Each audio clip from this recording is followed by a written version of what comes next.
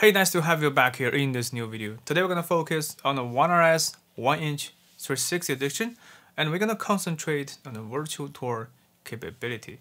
So, how good is the imaging quality in the real-world shooting scenarios, and how to make the most of your dual 1-inch imaging sensor and create the best possible 6.5K resolution for your clients. So, want to know more about it? Keep watching. My name is Yuqing Guo. My YouTube channel is dedicated to 360 photography, video, accessories, and some cutting technology. Now let's get started and dive right in. First thing first, just want to give you my brief conclusion on this camera for the virtual tour shot. Uh, the answer is quite simple. To generate the premium imaging quality with One RS 1 inch 360 edition is very simple and is very user friendly. Just to capture your interior shot with pure shot HDR and remember to shot in RAW DNG format and export with your Insta360 Studio 2022 and export the HDR DNG files to your uh, PC or Mac and choose the JPEG edition. And the JPEG straight out from Studio Software looks quite promising for your clients. And this is what I have recommended for you the overall sharpness and the stitching artifacts are beyond my expectation.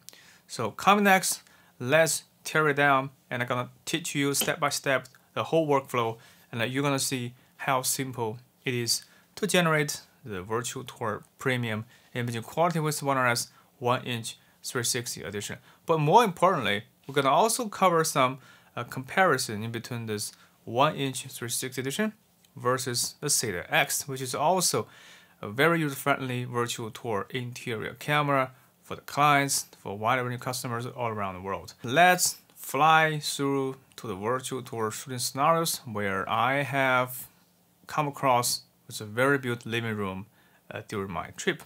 Let's go. This is a place where I will try to capture some virtual tour photos with Insta360 1-inch 360 edition. As you might have noticed, this is my setup here it is. I'm gonna use this combo setup during my travel to capture some beautiful interior virtual tour sample footage and try to explore the real potential of this dual one inch sensor. And I just want to know how powerful it is to capture virtual tour photos. As you might notice, this is the place where uh, we come across with the Beijing 2022, the Winter Olympic. For this scenario, also has a huge dynamic range. Interior shot, its color is warm, and for the outside, it's very bright. So this is a place where we have to capture in HDR mode. And for the one inch Leica 36 edition, we do have some um, nine shot bracket and with EV one step settings and five second countdown. I'm gonna try to capture a series virtual tour photos and I also leave white balance as auto, EV as plus minus one, auto bracket number to nine, and pure shot, not ISP but pure shot, because I want to get the premium imaging quality. I also use a quick reader on the side, because with when you're shooting with pure shot HDR in RAW DNG format, you do have a, a lot of image data to save to your external memory. You know, it's really hard to remove SD card. So with the help of the quick card reader, you can literally copy and paste all these raw DNG files really, really fast. And considering the PureShot HDR capture 9 shot in bracket with burst capture API, so to shoot and save all the images, it's really, really fast. So this is the first shooting spot. Uh, choose in between the windows and the bed. For the next interior shot, um, this is perhaps another great place. And you should also notice for the dual one inch sensor, the lens is quite thick. So you do have to carefully arrange the stitching line.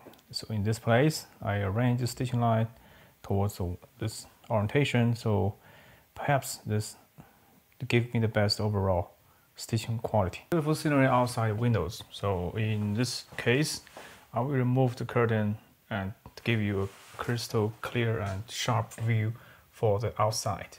So with this scenario, you get even more dynamic range. So this is where the PureShot HDR with 9-shot bracket really shines in your virtual tour shooting scenarios. And before we jump into the post-process workflow, I just want to share with you the brief setup for me to capture virtual tour with the dual 1-inch CMOS sensor of the One RS modular system. This is the standard One RS 1-inch edition with a quick reader and an external 64 gigabyte micro external memory. And this is uh, a integrated tripod that could also be doubled as an invisible selfie stick. It has a built-in tripod on the bottom.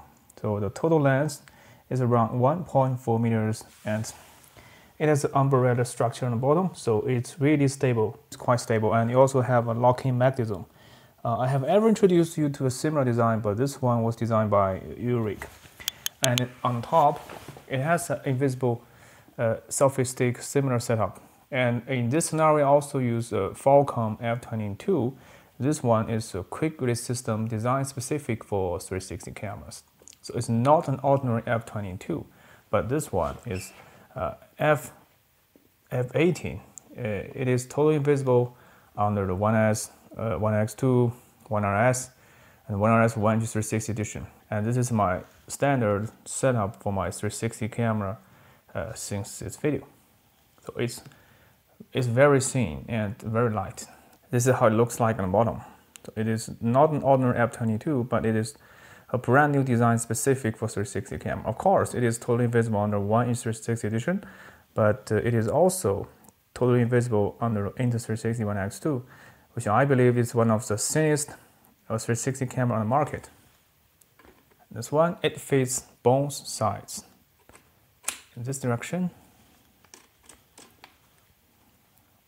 And it also fits in other direction as well. Do you see that? Unfold the tripod legs, it transforms into an invisible selfie stick.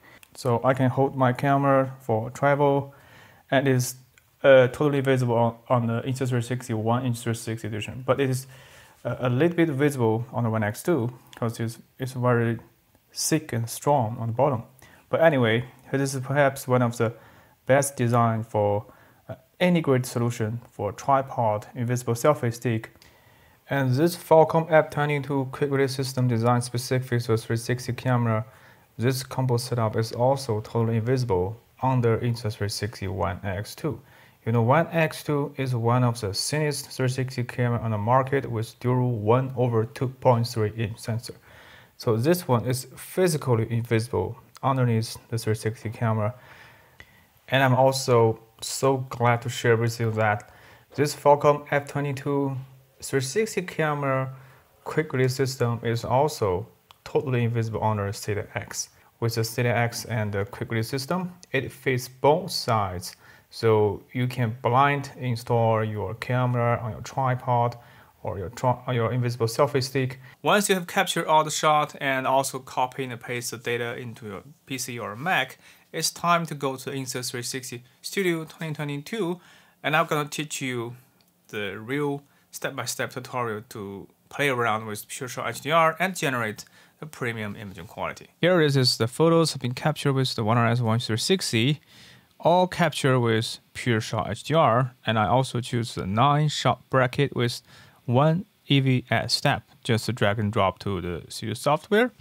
It will parsing the metadata, loading jar data, initializing project, and you're gonna see a list of files on the left column of this camera. And for each one of the shots, the studio software will generate HDR photo automatically for you. And for those of photos that has a HDR DNG as a prefix, that is to say the image will be exported in PureShot HDR in raw DNG format, and also will auto-generate a high-quality JPEG file straight out from this high-quality raw image. And you can also see the icon on the top left of each one of image, indicating that this is an HDR capture with the burst shot sequence where you can individually set every one of the frame in the shot and export individual image to your uh, external drive. But never mind, I would love to use the HDR version because this this edition, the imaging quality is just gorgeous. I think it is usable straight up from Studio Software for the HDR DNG file. For this one, as you can see, it's a 9 shot bracket and stack merge on the basis of the 9 JPEG files. The overall image is not that great from the point of professional virtual tour camera, virtual tour photographer, because it's oversaturated, although all the details being burned back, but it, overall the color is not great because only have 8 bit color depths, but this one, this raw DNG format, this looks pretty stunning. And this is what I have learned from this technique that the imaging quality straight off from the HDR DNG is usable, it's good enough to deliver to clients. But you should notice that on the nadir part, you're gonna see a mini tripod and sometimes the shadow of your camera. This is where you're gonna need to add a nadir logo when you export image. And you can also, I will also teach you some approach to wipe out the tripod uh, in this section. Well, let's take a look at another one. Uh, here is another shot. Well, it is HDR DNG file. It regenerated. This time I have opened up the curtain and you're gonna see this shot. This is a single exposure and we're gonna see a real comparison. The color is great and outside the dynamic range, all the detail has been brought back to the image on the basis of nine shot in bracket.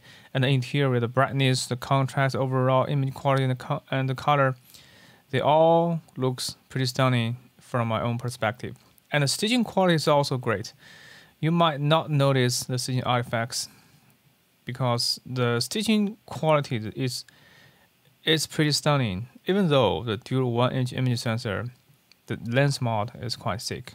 But never mind is virtual tour shot, it is definitely qualified in virtual tour shooting scenarios. And what you see is what you get. So this is another great feature for the Studio Software 2022. I'm now using the 4.4.0 edition. This edition works great on PureShot HDR and overall looking look at this dynamic range. I think it is pretty stunning for me. And overall the outside everything has been retained with great detail and with almost zero noise. Altogether, I have shot seven different virtual tour photos with nine shot bracket in PureShot HDR. Hit on export and choose the folder that you want to save your files and automatical horizon leveling.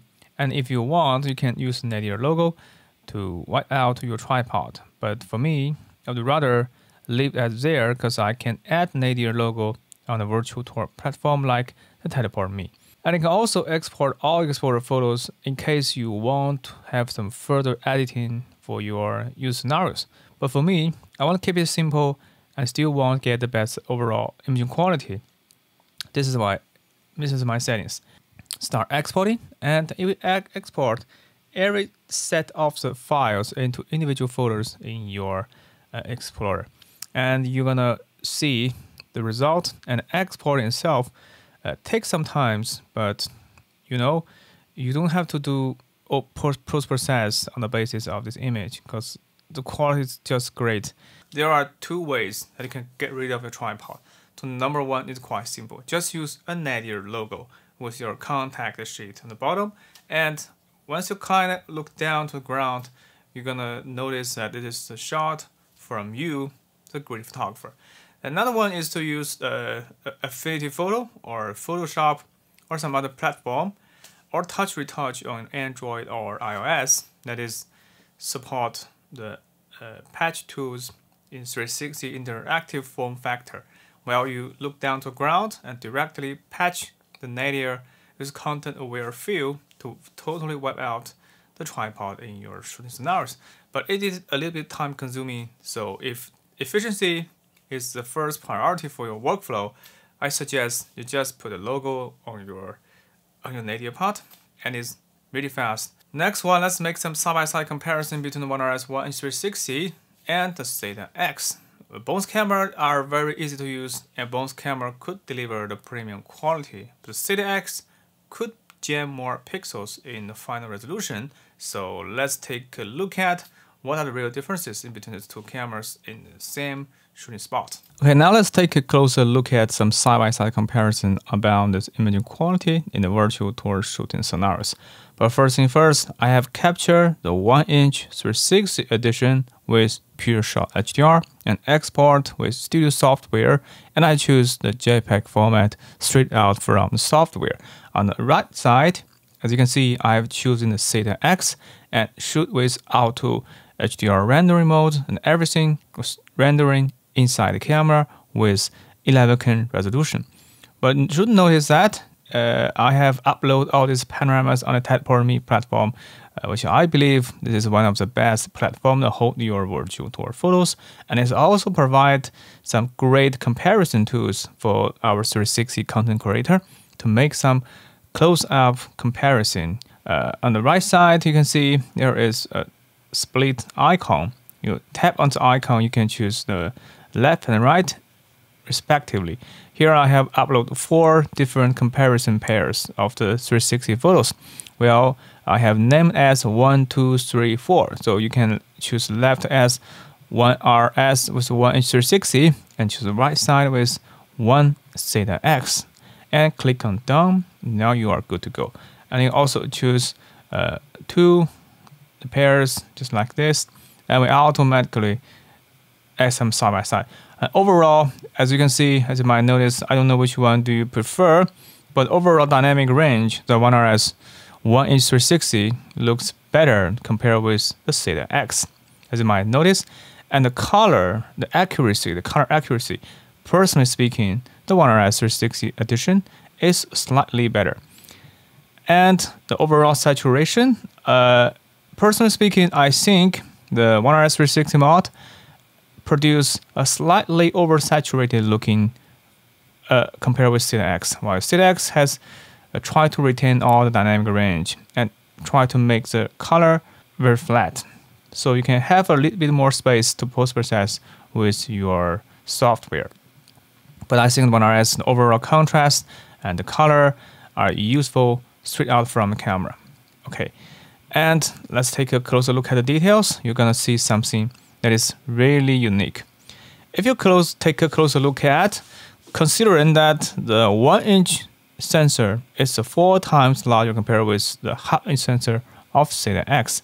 So even though the Theta X has more dynamic range, but the overall looking, I think the 1RS with 360 mod is less noisy compared with the Theta X. But although Theta X has a little bit more resolution a little bit more sharpness in the detail, but overall, I think the 1RS produced with less noise. And let's take a look at on the white ceiling of these photos. If you take a closer look at, as you can see, the 1RS produced less noise. And they have different color style, but overall, I, I think if you want to be fast, you want to be high efficiency, yeah, I think the the 1RS the JPEG format straight uh, out from Studio Software is a great choice for you if you want the faster workflow. Let's take a look at the, third comparison, 1RS, Theta X. Click on done and take a closer look at the detail. Well, the 1RS with less noise. Did you see that? Especially if you take a closer look at the wall, the 1 inch image sensor tend to capture more texture in between the frames, while Theta X tend to generate a flat color. So they have different looking taste and overall for the TV set, the One has produced a much better image quality considering the TV set itself is black. And if you could take a close look at the floor, I still think that 1RS has a better looking straight out from the software. But Theta X has more space for post-process even though they have JPEG only format.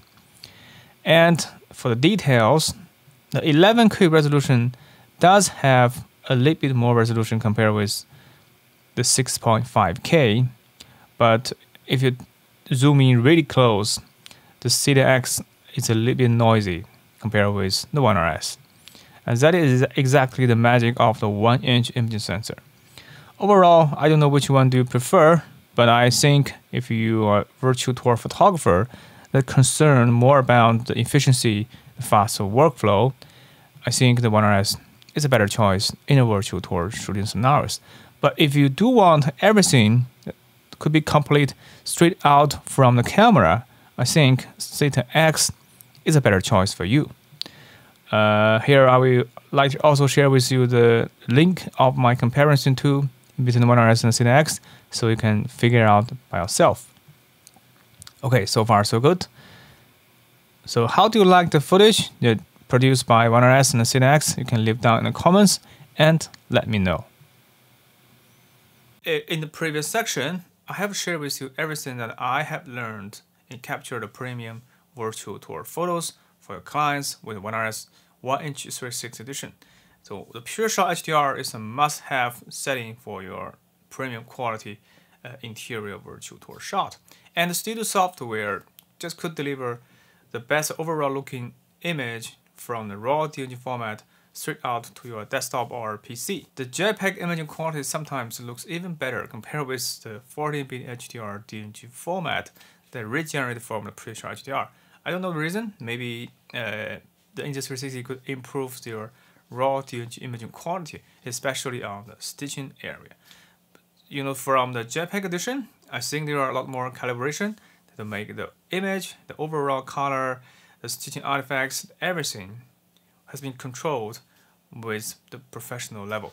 But for the raw DNG format, you do need more time to post-process and to deliver a little bit higher imaging quality compared with the JPEG format. So overall for me, I prefer to use the JPEG files straight out from the raw pure shot from the studio software. And I also teach you some tips and tricks to eliminate, to make some clever nadir patch and also some accessory recommendations for you to better master the virtual tour technique to generate the better quality for your clients.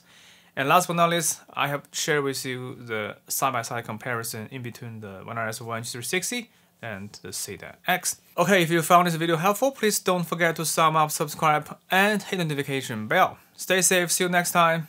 Bye.